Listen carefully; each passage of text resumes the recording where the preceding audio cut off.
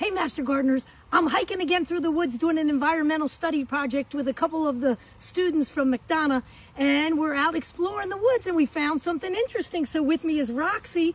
Roxy, tell them about what plant we just found. Uh, wild ginger.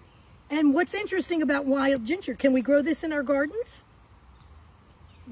Yeah, Yeah. you can. It's a good ground cover plant, a good shade loving ground cover. And what do we learn? It can be so dense it can keep out some of the enemy weeds like, Garlic mustard. yeah, we all hate garlic mustard in our gardens, but it can be thick enough and dense enough. So let's take a closer look at it so we can learn how to identify it. So Roxy, tell them what kind of leaves they are. Shapes? What kind of uh, shape? Heart? Isn't Yeah, kind of, a heart shape. Simple heart shaped, typically in pairs. And we talked about different types of root systems. We said there's stolons and rhizomes when the roots are under the ground. Do you remember which one it is? Uh, rhizome. Rhizome. So rhizomatous. So this spreads. Once you plant it, it'll keep moving in your garden. This is a good plant for native plant gardens. And the most interesting part are these flowers. It's in full bloom right now. And if you don't know this plant, you'll never found the find the flowers because why, Rox? They're very tiny. Very tiny and what color? Uh, a copper or a lavender color. So not very decorative, not very pretty. And where are they located?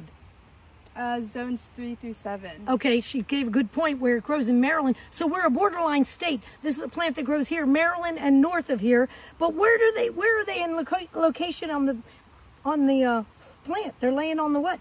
Ground. Yeah, laying on the ground. Not very often. Here's the ground cover. We'll look at this in a minute up close. But yeah, they grow laying on the ground because they're pollinated by mostly beetles.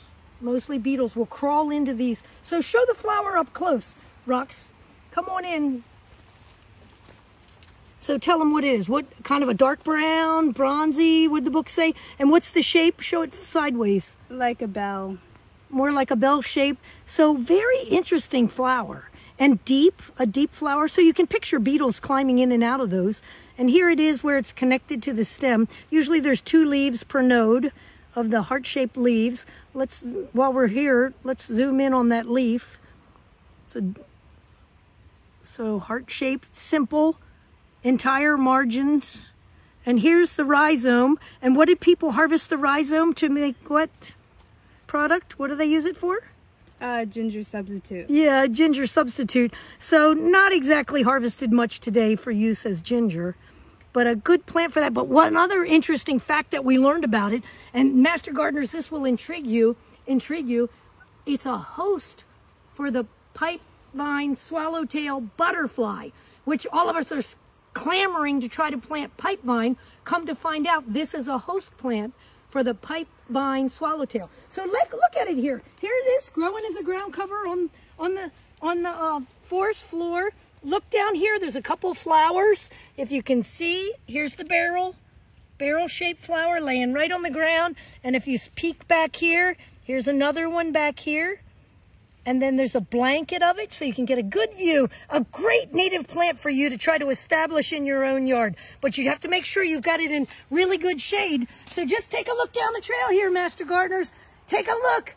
All your wild ginger, Asarum canadensis, is in bloom now. Take a look.